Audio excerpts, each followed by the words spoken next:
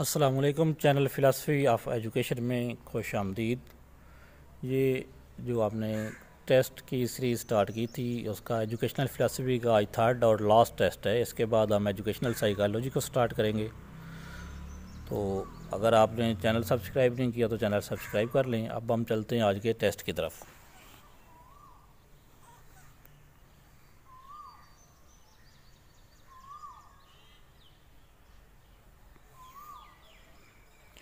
First question है, the word transcendentalism mean.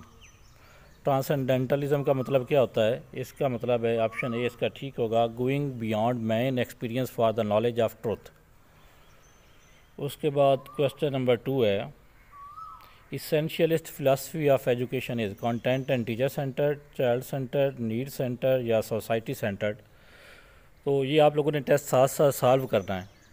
और end पे आपने अपने जवाब जो हैं वो मैच करने और कमेंट में बताना है कि आपके इसके में मार्क्स कितने हैं। Essential is philosophy of education is content and teacher centred option A is right question number three one of the requirement of discipline is option A none of these option B curriculum theory option C a body of knowledge option D a set of related assumption इसका right answer है option A a body of knowledge अब ये qualifying guide में इसका answer जो है वो गलत लगा हुआ है। नन ऑफ़ दीज वहाँ पे लिखा गया है। तो इस तरह और भी कुछ आंसर जो हैं वो क्वालिफाइंग गाइड में गलत हैं। अगर आप ये टेस्ट साथ सॉल्व करेंगे तो आपके जो आंसर उधर से गलत हैं, वो भी साथ साथ दुरुस्त होते जाएँगे।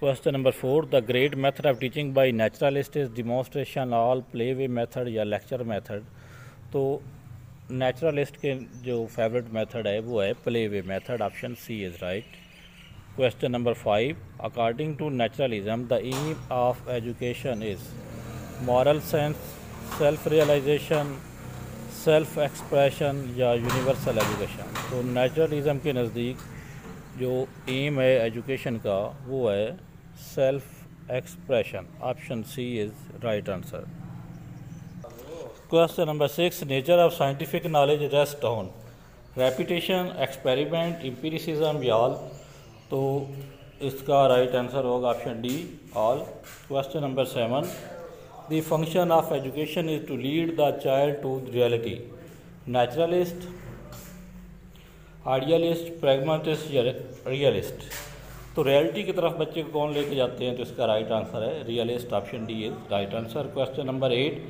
education is the organisation of experience is expounded by reorganisation of experience का तस्वर किसने दिया? विलियम जेम्स ने, एडलर ने, जॉन डेवी ने या ऑल? तो इसका राइट आंसर है John Dewey. Option D is right question number nine lecture method is choice of idealist realist both या नन तो लेक्चर मेथड जो है choice of both idealist and realist तो क्वालिफाइंग में इसका आंसर जो है, वो भी गलत टेक किया गया। Question number ten philosophy and education are two sides of coin according to Davy, Piaget, Ross या और तो education are two sides of coin ये है। रॉस के मुताबिक ये इंपॉर्टेंट क्वेश्चन है। बहुत से पास्ट पेपर में ये क्वेश्चन इससे पहले भी आ चुका है।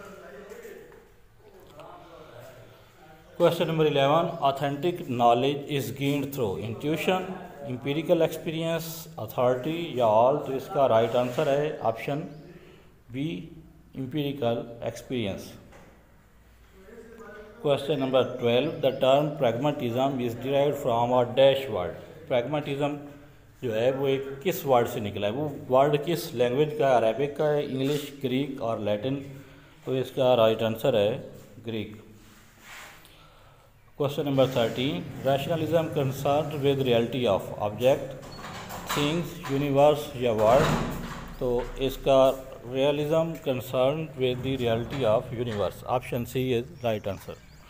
Question number 14 the primary focus of philosophy is the knowledge of universe change reality or self.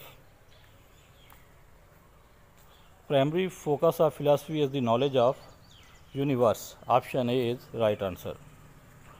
Question number 15 The aims of education are used for the process of education motivate, progress, direct या all. तो इसका right answer है option B Question number 16. Logical and scientific thinking include orderly philosophy, orderly knowledge, value system, orderly thinking. तो इसका right answer है option C value system ये भी qualifying में इसका आंसर जो है वो गलत टेक हुआ हुआ है, वहाँ पे इसका आंसर कोई और टेक हुआ हुआ है, जबकि इसका राइट आंसर जो है वो है value system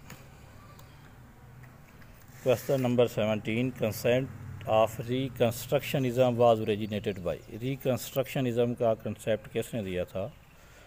Adler Hegel John Dewey Marx तो इसका राइट आंसर है option C John Dewey question number eighteen types of knowledge drive from senses is known as वो नॉलेज जो हम सेंसेस के ज़रिए हासिल करते हैं, उस नॉलेज को हम कहते हैं option A reveal knowledge option B logical option C empirical और ऑप्शन डी रैशनल तो इसका आंसर भी जो क्वालिफाइंग गाइड है, उसमें गलत दिया गया है। इसका राइट आंसर बनता है इंपेरिकल नॉलेज जबकि वहाँ पे रैशनलिज्म लिखा हुआ है लॉजिकल लिखा हुआ है। तो जो नॉलेज हम सेंसेस के साथ हासिल करते हैं, वो इंपेरिकल नॉलेज होता है।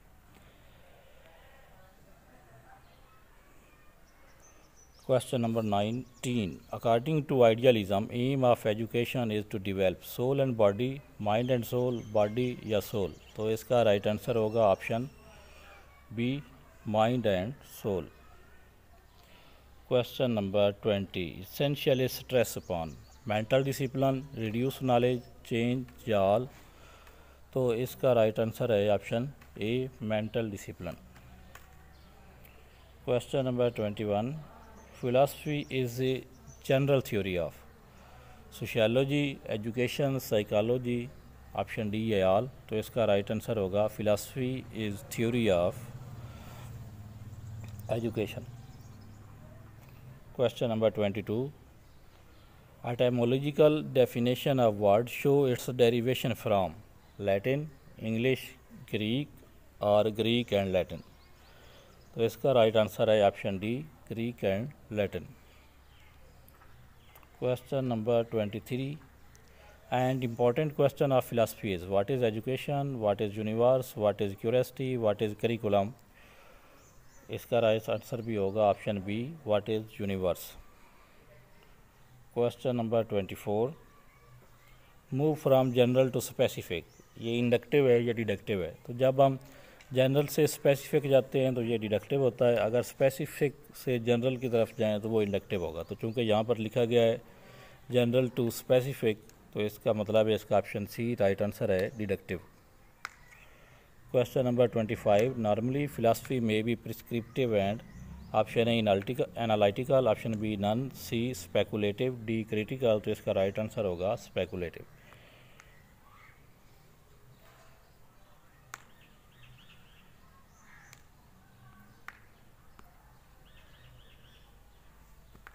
जी टेस्ट था। इसके बाद नेक्स्ट सीरीज़ जो हम स्टार्ट करेंगे, वो एजुकेशनल साइकोलॉजी से रिलेटेड हम उसको स्टार्ट करेंगे। अल्लाह हाफिज़।